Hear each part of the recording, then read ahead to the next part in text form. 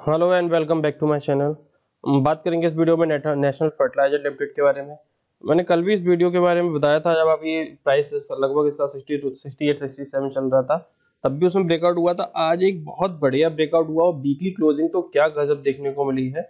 तो everything will be crystal clear बात करेंगे, सीधे चार्ट में चलेंगे और देखेंगे कि वीडियो में कि किस प्रकार का ब्रेकआउट देखने को मिला है, क्या टारगेट एक्सपेक्टेड है। पिछली वीडियो में हालाँकि मैंने टारगेट्स को डिटेल में बताया है। आज कुछ फर्टिलाइज़र हो जैसे नेशनल फर्टिलाइज़र है और जो फर्टिलाइज़र फर्टिलाइज़र एंड केमिकल जो त्रावणपुर कंपनी थी, जिसका एन पर कोड फैक्ट है, वो तो ट्वेंटी परसेंट के अपर सर्किट में ही लॉक रहा है।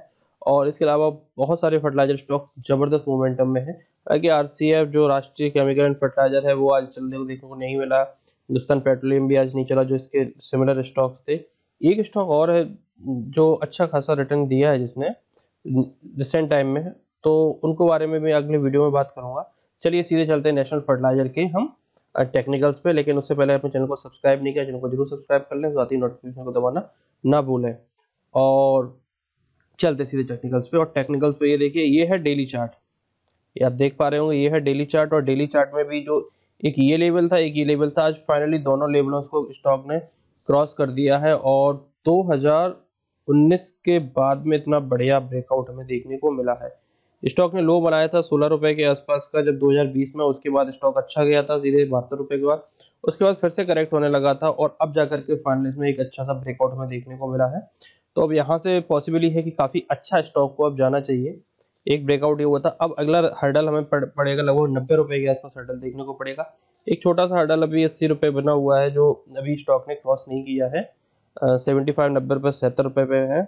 तो अच्छी बाइंग है इस लेवल पे भी बाई किया जा सकता है, ये हर्डल क्रॉस होते ही अस्सी रुपये का हर्डल क्रॉस होते हुए ही हम नब्बे रुपए का हर्डल और उसके बाद भी कुछ हर्डल्स हैं। लेकिन हम चलेंगे सीधे वीकली चार्ट पर और वीकली चार्ट में जो मोमेंटम आया है, वो क्या बढ़िया मोमेंटम हमें देखने को मिला है। ये है वीकली चार्ट पर, ये हमारे एक्सपेक्टेड टारगेट्स हो सकते हैं, अगर स्टॉक अच्छा परफॉर्म करता है। तो फ़िलहाल हम चलते हैं थोड़ा सा और इसको जूम करते हैं चार्ट को। और जूम करने पर देखने को मिलता है कि कप एंड हैंडल का क्या बढ़िया ब्रेकआउट हमें देखने को मिला है। एक वीक में इस स्टॉक ऑलरेडी थर्टी परसेंट के आसपास के रिटर्न डिलीवर करता, करते जा, कर चुका है। और एक्सपेक्टेड है कि यहाँ से जो पहला टारगेट है वो नब्बे रुपये ही जाने वाला है। और अगले टारगेट के लिए अगर ये क्रॉस करता है, नब्बे रुपये क्रॉस करता है तो हम अगला टारगेट सौ रुपये रख सकते हैं। सौ रुपये क्रॉस करने के बाद तो स्टॉक गोली होने वाला है और और स्टॉक सीधे 150 तक के टारगेट्स को रीच करता हुआ हमें दिख सकता है। जैसे फैक्ट फैक्ट भागा, वैसे ही कुछ नेशनल फर्टिलाइज़र भी भागता हुआ हमें दिख सकते हैं। तो ये कुछ हर्डल्स हैं जैसे नब्बे रुपए का हर्डल है और सौ रुपए का हर्डल है बस ये एक हर्डल्स का काम रेजिस्टेंस का काम कर सकते हैं।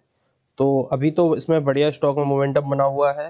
डेफिनेटली अभी एंट्री ले सकते हैं 75 70 थ्रू स्टॉप लॉस की बात करें तो स्टॉप लॉस ट्रेंड लाइन के नीचे हम फिक्स कर सकते हैं। सिक्सटी सिक्स सिक्सटी सेवन का स्टॉप लॉस होता हुआ अगर आपने यहाँ एंट्री ली थी तो इसके नीचे स्टॉप लॉस था, था।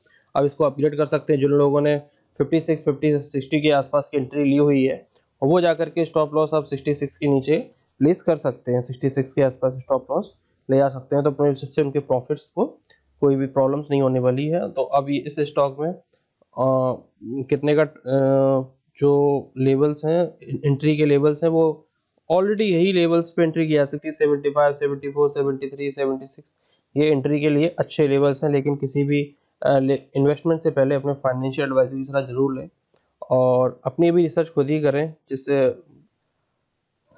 तो चलिए फ़िलहाल, ये तो बिक्री क्लोजिंग तो काफ़ी अच्छी रही है। वीकेंड एंजॉय करिए। चलिए मिलते हैं अगले वीडियोस में। धन्यवाद।